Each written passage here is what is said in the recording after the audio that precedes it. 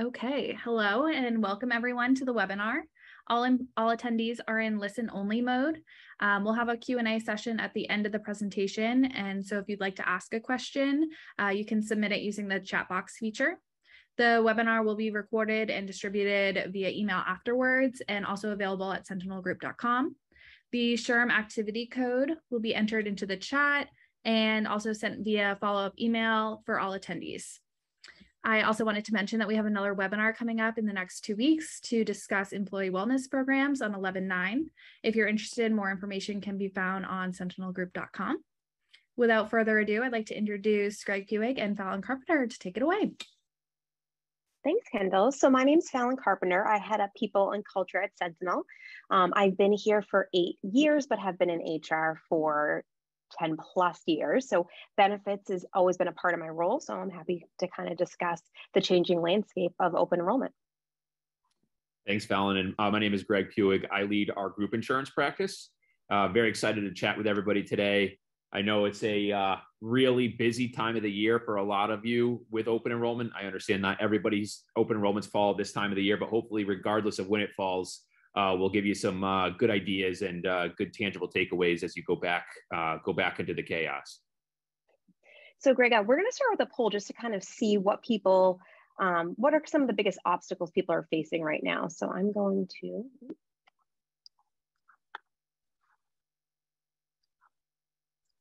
Give me a second here. Um, I'm going to launch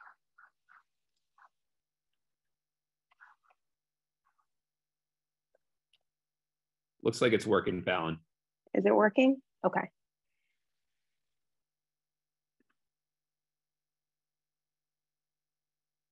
No one has answered yet, though. No one's answering, so I'm wondering if it's not. So what we're doing, so in case everybody wants to know, we are launching a poll. So uh, goes to show you this is our first attempt. So try not to laugh too hard at us here. So I have it open, but I'm not sure if. Oh, there we go. There we go. Thank you for bearing with us.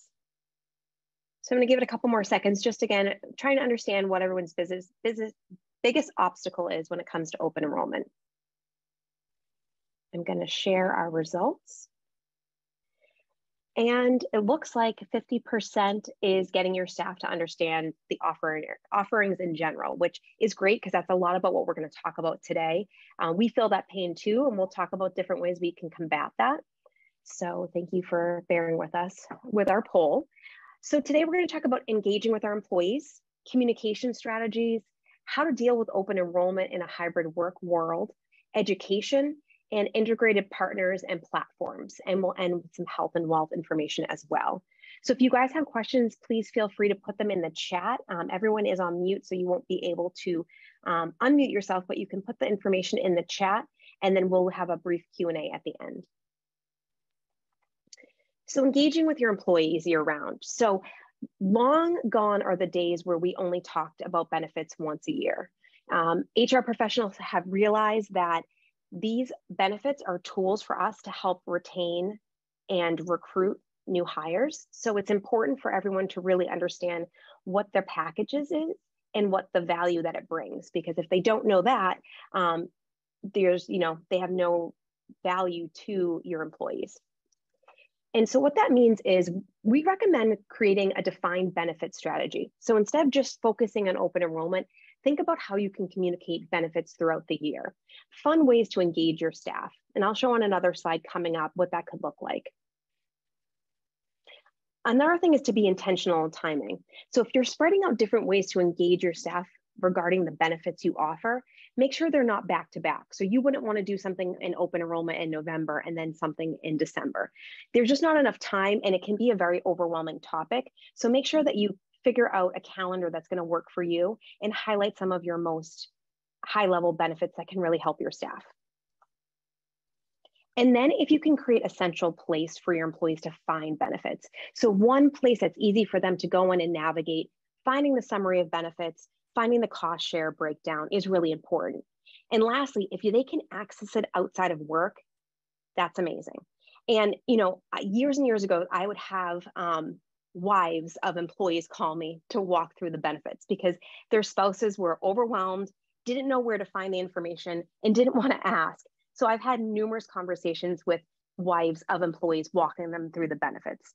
So if you can access it outside of work, that helps with that conversation. So they can really go through the different offerings, whether it's from their spouse's company versus your company, and make the best decision for their employees. And this is just kind of a visual of what a year-round strategy could look like. So at Sentinel, we do our open enrollment in November and we do a benefit overview. So we put together a guide, we do open enrollment meetings to again, establish what our benefits are and have opportunities to have conversations with our staff about what benefit is gonna be best for themselves or their families. In February, we actually launched benefit statements. So those are showing total compensation and benefits and the value working at Sentinel and our benefits offer to them and a total dollar spend. So that's another opportunity to really highlight what benefits you offer. And that can be anywhere from perks, that can be um, PTO, that can be your medical dental share, whatever that might be. It's nice to highlight it again outside of when they do their open enrollment. This year, we actually also added something called a flight plan, which is specific to a fly product that Sentinel offers. And what that does is it takes an employee's 401k balance and then gives them goals and objectives and things that they should be working on. And they can actually take that and work with a financial planner to have larger conversations about it. So that was a new thing we added this year and we got a good feedback on it. So they saw their benefits, but they also had a tool to kind of help work with some of the gaps in it might be facing. In May, we do an employee wellness month. So we focused on the whole month of May. We focused on to uh, reimbursement for fitness so if you have a fitness plan attached to your medical plan, a great way to highlight that, that people can be re reimbursed for going to the gym. Um, EAPs to help with mental health.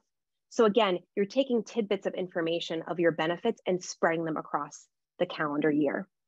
And lastly, in August, showing financial tools that you might have available. And if you are connected with a, a broker or a company for financial planning meetings, it's a nice way to show your employees you care about their financial wellness and you want to provide tools that can help. Doing it in August really is a nice prep for our open enrollment in November because they can start thinking about, you know, what they want to focus on financially in the following year. So getting your employees to engage with their benefits. So this is, um, you know, from the poll is an area that people really want to focus on and can be really hard to do. So I hope some of the tips we give you will provide you some insight or, or change the philosophy you're using today. So again, you want to aim to excite, not overwhelm. Now benefits sometimes are not exciting, but if you can find key areas to highlight them throughout the year that can make it fun, I talked about our employee wellness month. People love that. It engages them and encourages them to be healthy, get out there, move around, and use the benefits that we provide to them to do so. So, not everything can be exciting, but you can kind of streamline different opportunities to make it exciting. You also want to make sure it's simple, simple and digestible. For the folks on the call today, many of you work with benefits day in and day out, but the majority of employees don't really know that much about benefits, even the benefits that they're actually on. So making it digestible for them is really important. Avoid surprises. Now, that's something we cannot always control. If we have to change a benefit plan, um, if we receive large claims and our premium is going up. But what you do with that information and how you communicate it to your employees is really important. If you look at the stat here, they're saying 92% of employees choose the same benefit year over year. So if a plan is changing, it's a really great opportunity to get in front of the employees and explain to them what that means for them. A lot of employees might not open up their emails and they might be shocked that their benefit is different once they actually go to receive services. So different ways that you can get in front, whether you're doing short videos and sending them out, alerting them. Uh, repetition is key. So if something is changing, you want to hit them numerous times with that information. So hopefully if they don't see it the first time, they receive it the second time. And we're going to go into communication strategy. So this stat probably is not surprising to many people on the call today, but 50% of employees don't understand their benefits. And I'll never forget when I offboarded an employee at another company. And as I was going through the benefits that were changing, that they were losing, they said, I didn't even know I had half of these benefits. and it's such a, a you know whoa you know these are selling tools for us and, and people don't know what they are so again if you think about it from that strategy how can we sell this as a reason for people to stay other companies might not have as great benefits that we do so when we're thinking about retaining our employees and we have 50% who don't really understand the offerings, um, it's an opportunity for us. And another stat, 80% of people never open benefit communications. So that can be feel very defeating for those that are doing open enrollment and trying to figure out how to engage staff. But another way to think about it is your population of people. Don't just have emails going out think about where we can meet our employees at versus the communication style they want to receive. Many like to go to in-person meetings, so make sure that you have um, in-person or virtual where people can actually hear people talk and can ask Q&A questions. Some might just like the format of an email. They don't want to be bothered. They want to digest the information when they have time. Other parts of your population might actually receive text and be able to link into some of your information that way and video is a huge new tool that people are using little tidbits of, of information that can be used by video that people can follow and they don't have to read lengthy emails could be another opportunity for you as well. So think outside the box. So again, if you go back to the different opportunities you have throughout the year, how can that be fun? How can you use the different tools your company offers? So, do you have different Zoom channels or do you have a company intranet page where you can use that as an alternate channel? You can still use email, um, you can use text, but other ways you can communicate to them and get their attention. Again, don't overwhelm them, but make sure that there is a repetitiveness to what you're saying because you want to make sure they're receiving it. There is a little gray area to how many times you should be reaching out um, and explain, remind, and aim to excite. And to simplify. So employees don't like to receive wordy emails. And benefit emails can be overwhelming where someone could actually just shut down and say, I can't receive any of this information. I'm just going to take the same benefit I did last year. This is too much for me. So if you can break down the benefit related messages into bite-sized pieces, that can be an easy way for someone to digest the information. So during open enrollment, if you have a drip campaign on different benefits you're offering, and they can digest that on a weekly basis leading up to their enrollment, that's an opportunity. And the same can be said if you're doing a strategy all year long, use that opportunity to highlight maybe just one benefit. And again, if you can also use infographics short videos or just snippets of real life examples, that can actually translate to your employee population. So being relatable and examples of how the benefit might actually affect them is really key for them to engage and understand. In open communication, we always like to carve out an open door policy, especially during open enrollment. You might have employees who sit in a meeting and they don't want to ask a specific personal question on their benefits, but they really don't know what the plan that's going to work best for them and their family based on many different factors. So if you can create an open door policy where people can come in and sit down with you and you can walk through the different scenarios or even look at their spouse's benefits, that again creates trust and it gives them an opportunity to really understand what they're signing up for and leading to less surprises in the year to come. And then I'm going to kick it over to my friend Greg here to talk about open enrollment in a hybrid workforce. Thanks, Fallon. Um, so we're pivoting here for a little bit. Can you hop the next slide for me? Thank you. So really what we want to do here is give you some specific examples, some actual tangible takeaways that you can do as you're maybe approaching your open enrollment season or as you're planning for your open enrollment season in 2023. So a big thing that I usually recommend and try to do, especially in today's environment, because let's be real, things have really have changed so much over the last three years. I would say some of you are probably sitting on the phone saying, Greg Fallon, I've been doing virtual sessions for a long time now. We've had employees all over the country uh, for the last decade, and, and, and this really just kind of didn't change too much for us. But then I know there are a lot of clients too that are sitting, uh, or people that are sitting on this call saying, you know what, yeah, we really had to find a solution um, rush to find that solution because you know, everybody started all of a sudden everybody was home and we had to figure out a way to start messaging to them. So now we're a few years into this thing and it's kind of the new normal.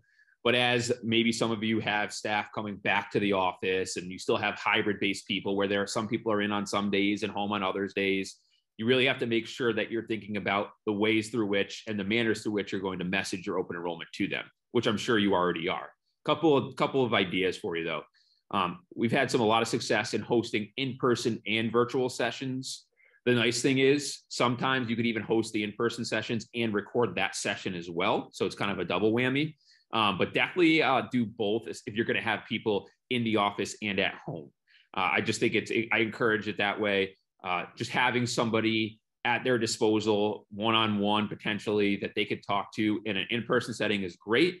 And then you could also facilitate that same one-on-one just not in an in-person setting, but also but in a virtual setting using technology like ScheduleOnce or something like that, where you could set up times, 15 minute increments, if you will, with where they could speak with a benefit advisor or a financial wellness educator and really walk them through whatever the decisions were that were made at open enrollment. So that's the first, that's the first thing.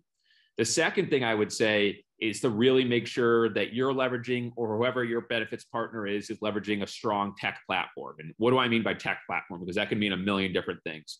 Really, for the purpose of this conversation, what I wanted to hone in on is using something like Zoom webinar, using something like um, uh, Teams version of Zoom webinar. I forgot exactly what the name of that is, but it's not your normal Zoom meeting. It's actually very similar to what we're using today uh, gives you a little bit more of ability to do some unique things, really engage the audience. Like Fallon was saying, really start using some unique graphics and push outs via the messaging center in whatever the webinar platform is that you're using. Um, but just make sure that it's a little bit different because keeping the participant engaged is very, very difficult. And as you all said during the polling process, the thing that you everybody struggled with the most was getting your staff to understand the offerings in general. And that is and you're not alone by the way that is often the number one issue. I mean in in everybody's defense in in the participants defense i don't know i've been doing this for 12 and a half years now and i i quite frankly don't know what else in life that people pay so much for regardless of how good the employer contribution is that they just don't that they understand the least right? I mean, it's it's true. So we could do we could have to really really educate. And the thing I'm always talking to my clients and prospective clients about too is how do you maximize the value of your offerings, right? If you're going to spend that much money on something, which let's be real, and a lot of them for a lot of employers, it's second, third, fourth largest line item on the books, period. Crazy statement to say, but it's true. If you're going to spend that much money on something, let's make sure that you're going to get the actual value out of spending that money, spending that much. And you can't value something in my mind personally unless you understand it. So that's really what makes this process dynamic and what makes it important to Fallon's point to educate throughout the plan year. And I'm going to talk about a little bit about that as well in a couple of minutes. Um, but yeah, really leverage that tech platform. I'm a little biased to Zoom webinar only because it's the one I know the best, but I've had a lot of experience with it um, and, and good experience with it. I know Zoom, some challenges from a security standpoint with that, depending on what entity you are. We've had, knock on wood, a lot of good luck with that. So that's that's the one that's near and dear to my heart. But I know there's a million of them out there now, and there's some I've seen some really slick ones and participated in some really slick ones that are actually like standalone third-party tech platforms that actually facilitate event-based webinars, which is really cool. They could change backgrounds and really make you look like you're almost in a uh, a virtual room together. Um, so just some really cool things to think about if you uh, if if you want to. Um, and then Fallon already nailed this earlier, but I'm gonna I want to second it. Invite spouses and partners to listen in. Um, spouses, partners, even we've had dependents join. They're on the plan too. Maybe like an 18, 19 year old dependent. I mean, let's be real, they could be on all the way up till 26. So um, that's a you know there a lot of them could be working fully fully employed uh, people, so I'm sure most of them are at some point. Um, have them join. Uh, I really feel like that could be uh, move the needle from an understanding standpoint because regardless of what happens um, with, with us effectively messaging to the end user, maybe the employee, at some point we all know it's going to be really hard for them to re-articulate back to their families So by having them join, I think it could be a really good uh, experience, and we've had a lot of success with that with some of our clients too. Um, so that's just a, another uh, another really little bit tidbit for you or takeaway for you. The great, next... that's a great that's a great point about the video and, and being able to share it again so people can see it outside of just reading the statement. I like that. Yeah, yeah, absolutely. Yeah. And and and to Fallon's point too, I, I hope I said this, but just to reiterate again, make sure you record. Record the sessions. Um, a lot of the tech platforms now, they'll allow you to record to the cloud, which is really nice. So it's not like you have this really jumbo file like we used to have, and it was you, you know you had trouble just emailing it back and forth to somebody. It's a cloud based, it's link based, and really leverage that, like Fallon is saying. And now you have it for for people who maybe missed the session for the families of the session if they couldn't make it, but also for new hires too. So you could even have them listen in on the actual open enrollment meeting, which is really nice. The next thing, Fallon, if you don't mind hitting one more, thank you, is um, I always recommend, not always, but if you have the audience for it and you think it's going to be an effective way um, to really hash things out with your employee base, especially like Fallon was saying, if you uh, do some changes to your plans, maybe some, some substantial plan changes, you're offering a new benefit, you're making a carrier change, you're pivoting to self funding. There's a million different things that can go on out there. But following up these virtual and in person group sessions with one on one sessions could be really dynamic. Um, gives people an opportunity to ask questions. I know whenever I'm helping my clients out in these, um, I'm always offering during these group sessions look, we fully understand that asking questions relative to your own healthcare, your own health plan can be really awkward in general, let alone in a group setting. So feel free. I usually say to reach out to me, or what we've done in some cases is even set up these follow up one on one sessions. Um, and then you could, uh, you know, that person could feel comfortable to ask just in a one on one setting, maybe some things that are going on with them or their families and how that might impact um, their premium or their deductible outlay, their copayment outlay, or their overall healthcare experience and network access over the course of the following plan year. So, just a really good thing to think about um, as you're doing that. I really also think it goes back to that value discussion. You could really hammer home, make sure people are somewhat comfortable. I don't think we could ever get somebody fully comfortable with their offerings, but more confident in what they're walking into, what their solutions are, what their offerings are, and it puts you in a better seat, hopefully from an administrative perspective, if you are wearing the HR hat, to maybe get a little bit more less questions down the road, maybe.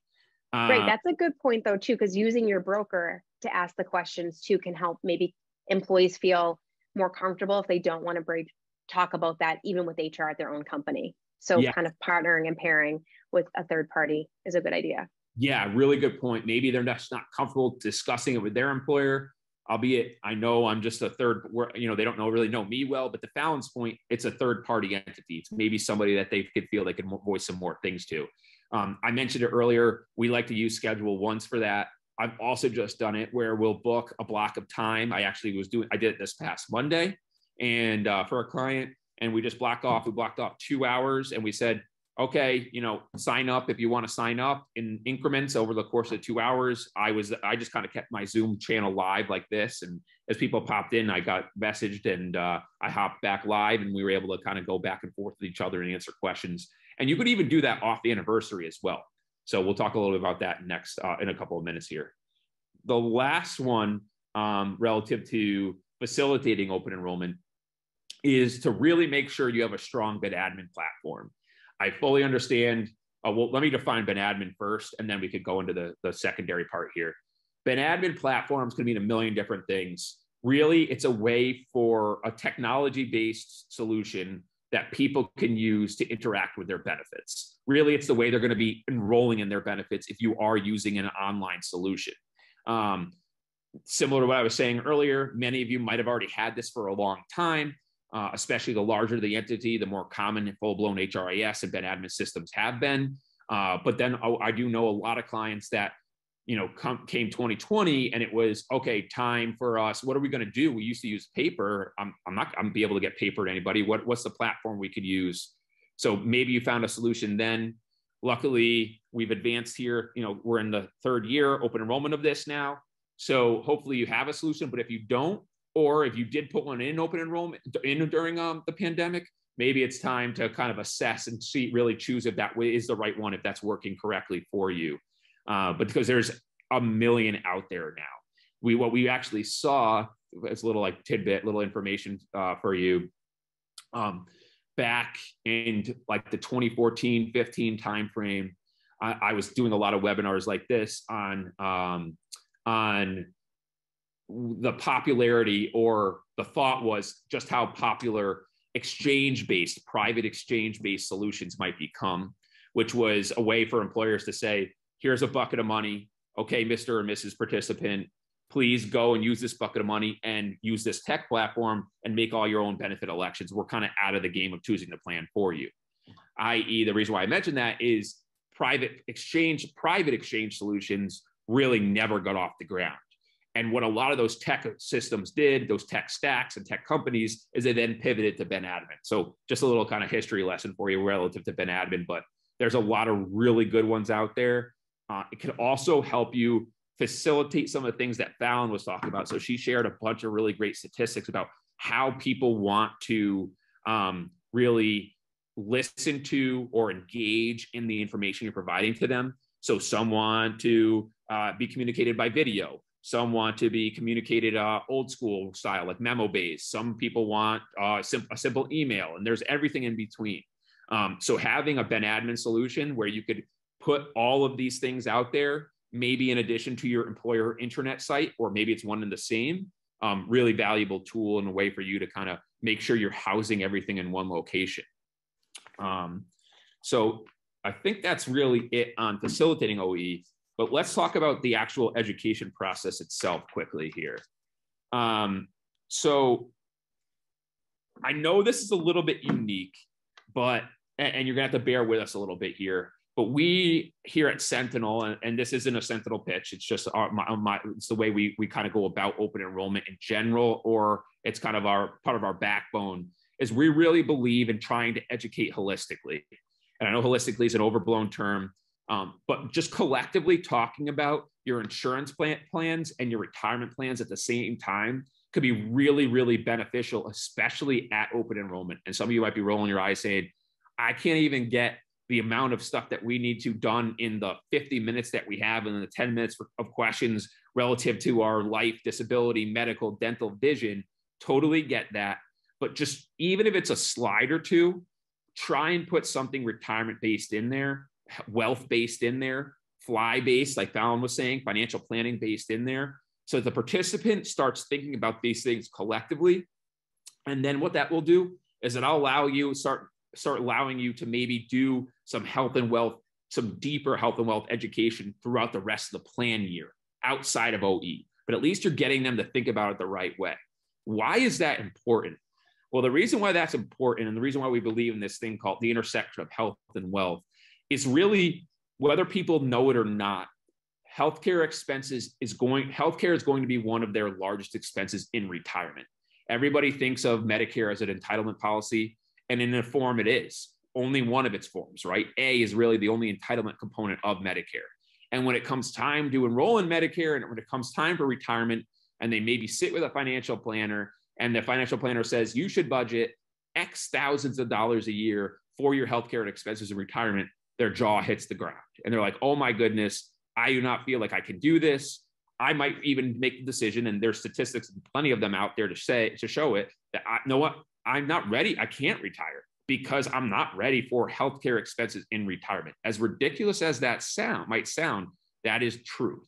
So the more we can prepare people up front, regardless of where they fall in their career horizon, whether that's at the beginning or even at the tail end, the more we can prepare them so that they know when that day comes that they this isn't a shock to them and that it's not a shock to you as the as the employer um, the better off everybody will be the other thing i'll say um, is there really is an intersection in your costs as the employer relative to um, the retirement readiness and needs of your employees let me explain so i think we could all agree regardless of the size that you are everybody on here that's listening today uh, meaning the size of employer, where you fall in the healthcare landscape, marketplace, insurance marketplace, um, age is going to be a major determinant of your rates, right? It just is a matter of fact. Age. Some of you claims are going to be involved. Some of you trend rates and, and pooling rates are going to be involved. But age, no matter what, is going to be a ter- determining factor. The more prepared you could get your participants for retirement and for healthcare and insurance in retirement, the, the lower potentially your average age of the population, and therefore downstream, lower the potential uh, a premium outlay that you might have or you're decreasing your potential downstream liability from a claims perspective. So it really is all interconnected. We could take that offline. Um, I think we actually are planning a health and wealth uh, webinar, another one come um, November or December of this year. So please be on the lookout for that. Um, but we go into much more detail on it. But just just some some some things to think about, uh, uh, food for thought there relative to that. The next point is, and and I'm I'm not going to beat a dead horse here because we both said this, but um, educating throughout the year is so critical. One that I'm passionate about, if you couldn't tell based on what I was just saying, is Medicare planning. So, Medicare planning throughout the year, critically important. What I mean by Medicare planning, even have two sessions, maybe like Medicare 1.0, and then graduate people, quote unquote, to 2.0. So, do like a welcome to Medicare or intro to Medicare in January or February. So, once OE has kind of the dust is settled, have it in, in Jan or Feb, and then have another one, your 2.0 in like September, because October is a really big Medicare month for some people. Um, and then you could kind of really get a really nice foundation for people. Bring in third party experts, um, ask your broker or consultant if they have somebody available to do it. Um, a lot of, oh, you know, we have an in house expert here. Um, uh, and then even your carriers also have experts as well, that believe it or not, so that you could just tap into and it's free as you being part of a part of that carrier community. Uh, Social Security is another one. The other ones that I'm really, really would like highly encourage are the standalone ancillary policies that often go take a back seat at open enrollment, i.e., the life insurance benefits that the people have available to them, or even life insurance benefit uh, planning in general. Um, maybe people at the earlier beginning of their uh, earlier earlier on in their career horizons who are starting families, life insurance planning could be really beneficial for them those maybe more towards the tail end of their tail end of their career horizon. That social security planning could be really critical.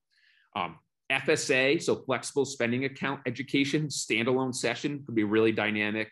Um, health savings account, standalone session, highly encourage that if you have one, um, especially the HSA one, because in my mind, that's one of the best vehicles that bridges that insurance and retirement planning together.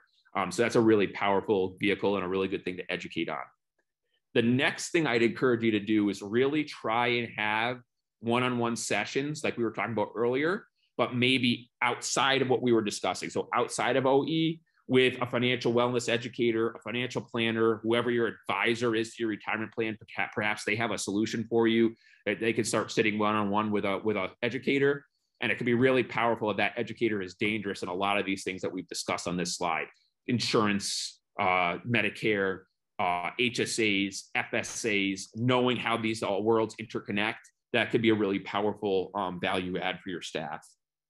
The last thing I'd say, and this is kind of similar to what we were, what I mentioned on the last slide, just have a centralized hub. I know Fallon said the same exact thing.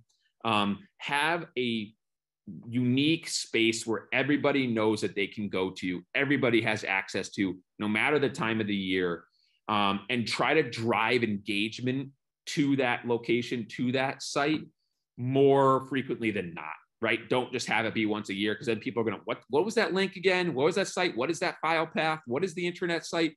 Try and gamify it if even if you want to. Um, maybe set up some type of, oh, you're going to put some type of hidden clue or message on the internet site. Try to dig around and go into one of the sections and find the clue report back to HR and you get a gift card or you know we'll give three the three first people who come to us uh, probably you don't want to do the first people because then you'll lose engagement but we'll give three random people uh, uh, a gift card if you could find whatever the clue that is. So just try and drive engagement and gamify the process.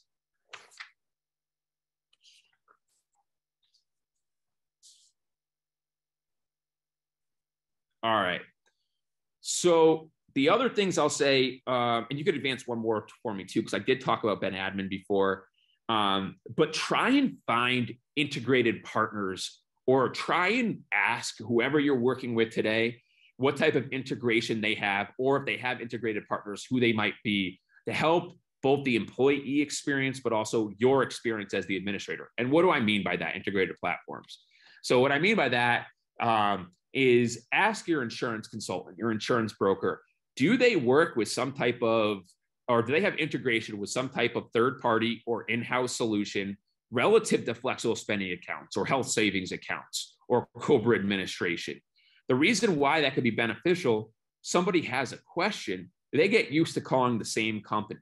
They get used to calling that company for their FSA questions, for their HSA questions, for their insurance needs, instead, perhaps, of knocking on your door first. I think that's a really critical component, something to really look at. You having that integration as well could really alleviate some of the administrative burden of housing these plans, of having these plans as the employer, right? So having one system of record to go to having one website to go to where you could see your retirement plan invoices and your FSA invoices and all of your contacts under one screen, extremely valuable and worth your time as well. So really look for that integration. There's been a lot of build out in the Ben admin space that I mentioned before, that benefits administration space relative to integration. Um, so a lot of them will have it built in preferred carriers that they already have um, API feeds with. A lot of them have preferred vendors, third party vendors that are providing mental health solutions and EA standalone EAP guidance and all this cool stuff. So um, just be curious, ask your broker or consultant the question or your retirement plan administrator the question. Um, really powerful. The other thing I'd say is have that single website. I know we've hammered this home at this point for all that for all their needs. So whether it's a retirement plan or the insurance plan, have one combined solution for that. And then the last thing I'd say, and this necessarily isn't an integrated platform or partner, but it does have to do with integration itself, the integration of health and wealth. Maybe look at implementing comprehensive benefit statements. A lot of you probably already doing that. Um, so it's probably old news, but maybe it's a tidbit or an idea for some of you. What I mean by comp- comprehensive benefit statements provide employees at some point in the year a, an overview, a, a significant uh, overview of what it is that you are giving them, providing to them as their employer relative to their benefits and their pay. Give them a full financial picture of what it is exactly you're outlaying from a premiums and cost perspective relative to match and their your contributions, et cetera. And then also, what is their outlay? And then give them what a total value is. So everybody thinks of their salary as here's what I'm getting from my employer. Um, but in reality, they don't understand that you know you could be contributing 10 20 thousand dollars more if not more on top of their salary um, in total spend and that often goes by the wayside. Am i promising you're going to a ton of value out of the comprehensive benefit statements? No but the efforts there and then people will hopefully start to try and uh, look at those and get used to collecting those and receiving those and the value will grow maybe over time. Um, so leaving you with a couple of statistics here and then we'll go into one last little uh, takeaway. Um, but this just goes more into some of the stats and proof as to why you really need to a educate at open enrollment b educate throughout the plan year but C, really look at things from a combined perspective, really educate about all of the things we discussed today, because there's so much intersection um, in the amount of stress that people feel, in the amount of um, planning that people do, and the amount of um, takeaways that they have, not at just open enrollment, but uh, throughout the year, and how you could better prepare them um, both in the in the current term, so maybe potentially reduce absenteeism and increase presenteeism um, because they're feeling less stressed. They don't feel as their mental health isn't as impacted, perhaps by the financial component because you're helping to prepare them more. Um, all of those things combined could really uh, make for, make for a successful employee employer relationship, and then it will boost that value that I was discussing discussing earlier.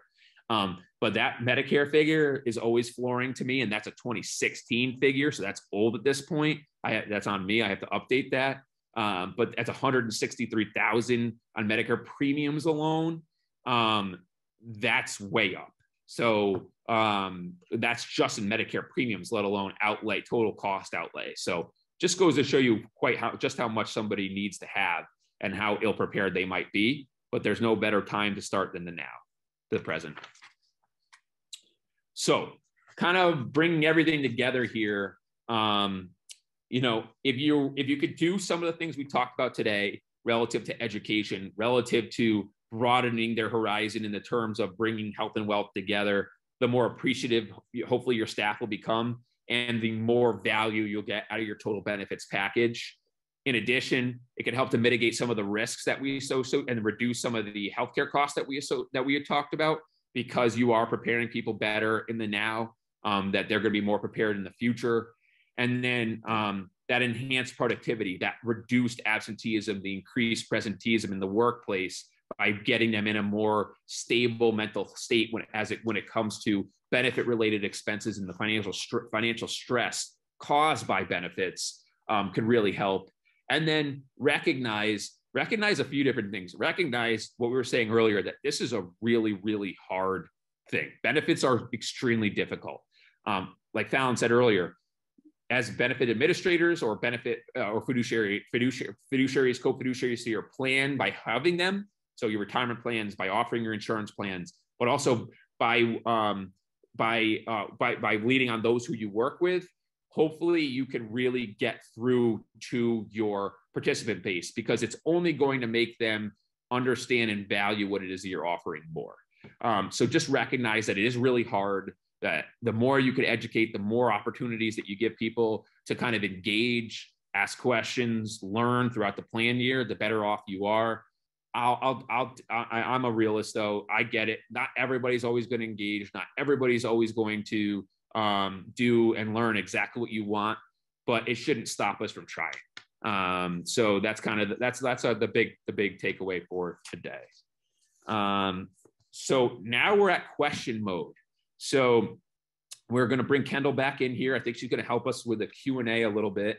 Um, so Kendall, do you mind? I think if everybody will just give us one moment so we can kind of go through the Q and A section. And thank you for engaging with us in the Q and A section. Um, but give us a moment so we could take a look at these, and then what we could do is we'll try to answer them. If we don't get to all of them, I think we have some time. But if we don't get to all of them or don't know all the answers today, we will definitely follow up with you to make sure um, we get whatever uh, get to get an answer to you um, the best we can.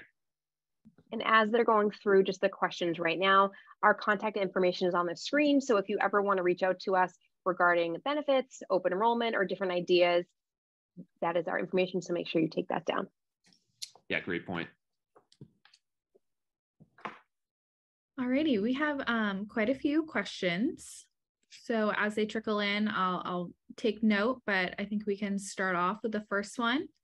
Um, are there any benefits that you struggle with year over year trying to explain? Greg, do you want to take that one? well, I mean, if I had struggle explaining it, I probably wouldn't be doing my job well. But no, I'm just, I'm, I'm kidding. uh, what what do I see people struggling maybe to understand the most? I would say um, this is really simple in nature, but the acronyms. We're such an acronym heavy business that, and, and when we go to open enrollment sessions or educational sessions in general, and I, I'm, I am probably the worst at this that there is, but throwing around FSA, HRA, HSA, 401k, 403b, and the you know the list goes on. And you're forgetting that people have no idea sometimes what FSA means. Um, they just know it as the debit card that you could use for healthcare. You know what I mean? So just using that could be um, something that maybe I do personally struggle with, and I know people struggle with, is staying away from him or at least making sure you define him at the beginning of your sessions and continue to define him throughout the session so that people really can understand what they're dealing with. I know that was probably not the best one, but Fallon maybe uh, maybe uh, have my back here or, or, or yeah, I definitely agree. I think those are in the benefit space. We can use acronyms, or it just makes sense to us what we're reading, and we have to realize that a lot of the employees they're overwhelmed. This is not in their day to day world, and really try to slow it down um, and show real life examples. I know for people that have traditional plans and then they're moving to a high deductible plan, that can be really scary for them. And some people will stay on a higher cost plan than they really need to because they see a deductible and they're just overwhelmed by the thought of it and they don't want to do the math. So um, giving them an opportunity for our, you know, one-to-one session. so you can say, let's really break down like what your cost history has been um, and your health history and see if there's a plan that makes more sense for you. So I just think that, you know, it's that seeing a dollar spend you have to pay before you get insurance can be very um, hard for those that have made a change and have had a different type of plan before. Thanks. What else do we have here, Kendall? We have, okay, next up is the Medicare figure shown an annualized figure from the statistics? Oh, great question. No, that was over, I believe that was over um, your expected career um, retirement horizon. So no, that 163 was not per year. Um, that's the premiums paid over your retirement horizon. But what that didn't include was, uh, and I think I say this, but just to reiterate, um, that doesn't include some of the Medicare deductibles and co-payments that you're going to be exposed to. So um, that's uh, that was a great question, though. Sorry for not defining that better. And Greg, I know you mentioned this, and we've done it at Sentinel. We've had like our broker, or no, we've actually had like Blue Cross Blue Shield come in and do a Medicare session, and it is so helpful to the folks that are retiring, but it's also helpful to HR professionals. So I have a little bit more understanding of what Medicare looks like because you probably sometimes do get questions from folks and you're you're like I have no idea. Um, so having a little bit more information, I I personally find is helpful, but I also lean on my broker too to kind of navigate those. But I think more knowledge is power. Yeah, actually, great one too because I even say it's even good for those whose parents are approaching retirement based age. Absolutely.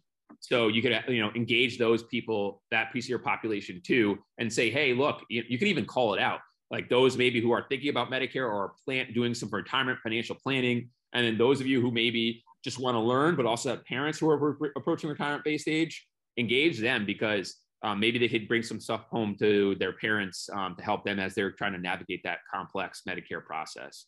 No, it's such a great point. I know my mom recently went through it, and when she was talking, I'm like, I know what that is let me add some color to that. So it's definitely yeah. um, applicable. Yeah. So, yep. yeah. All right, next up we have if you're making a big change, how do you ensure that your employee population really understands the change and makes a smart decision for themselves or the family for the year?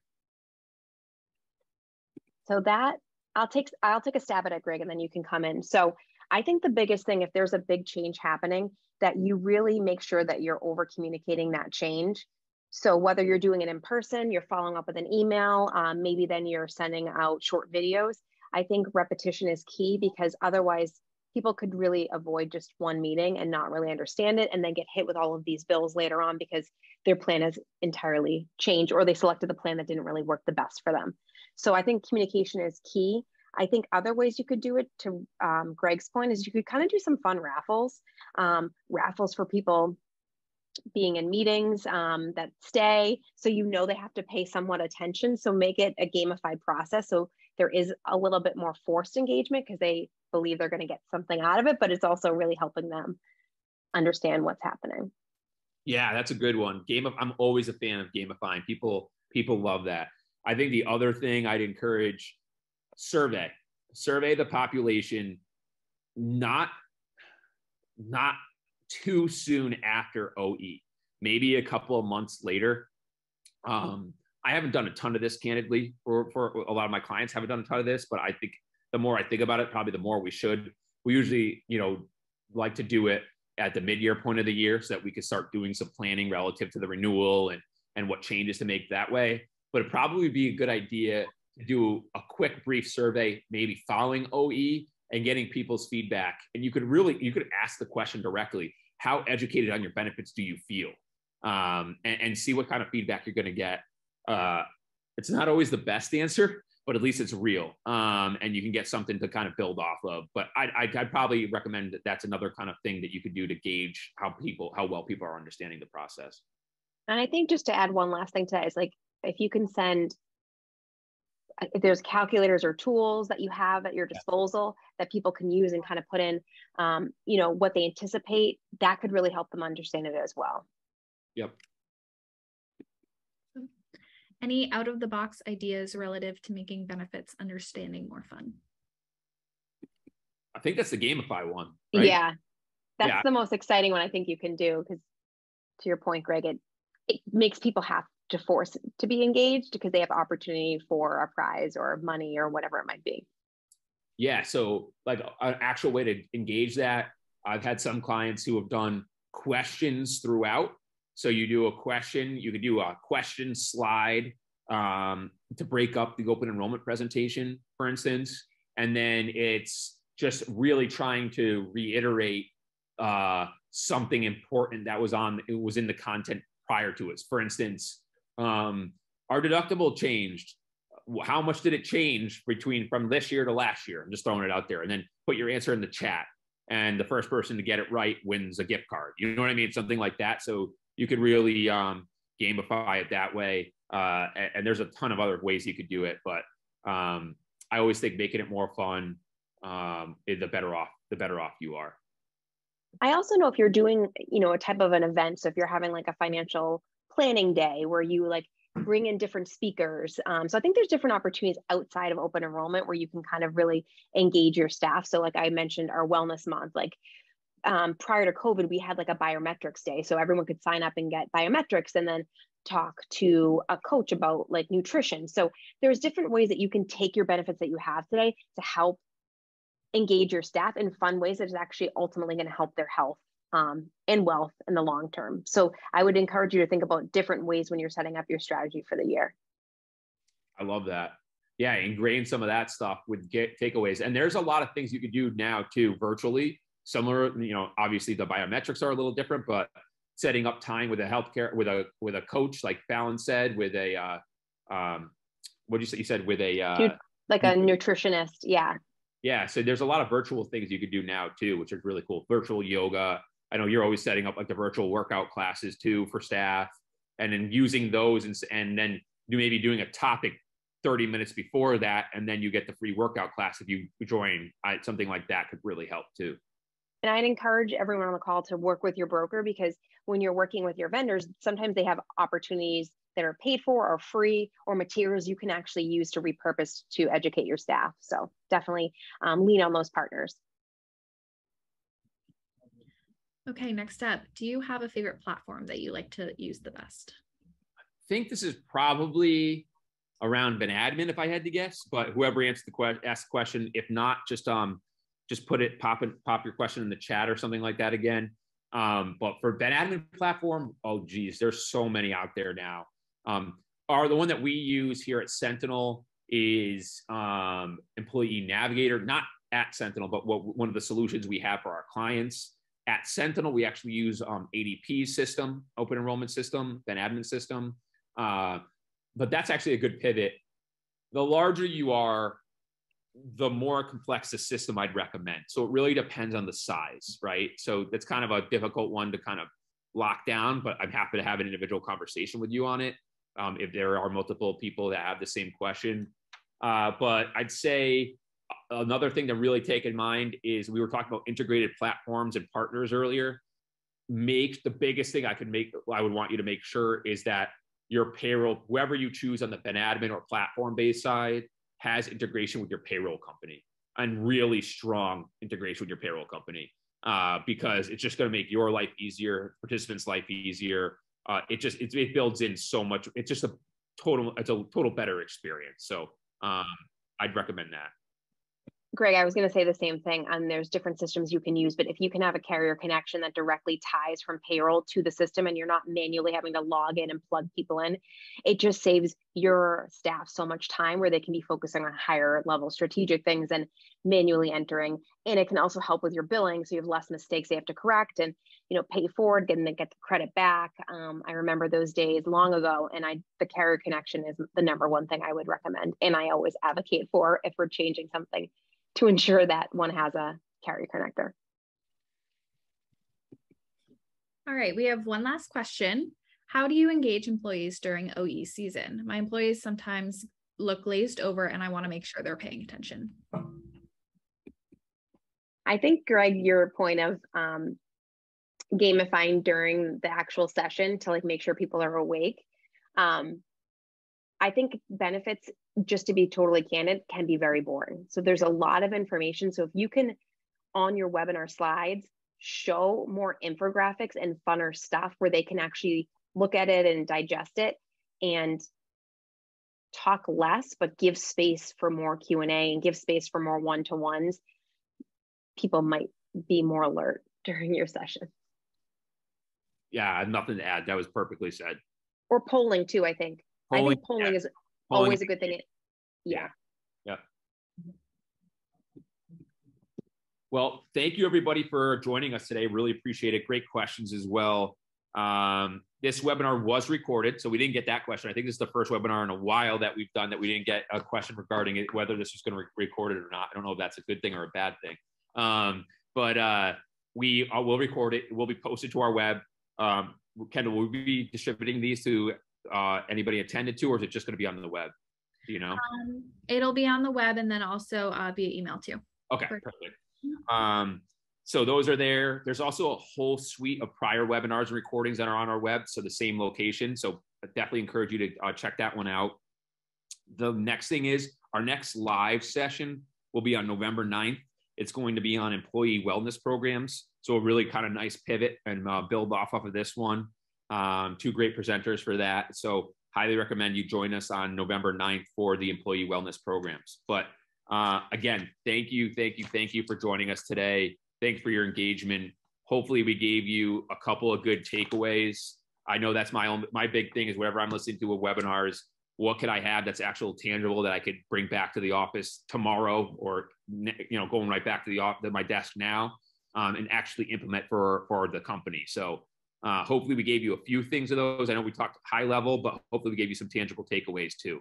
Uh, and I hope everybody has a great afternoon.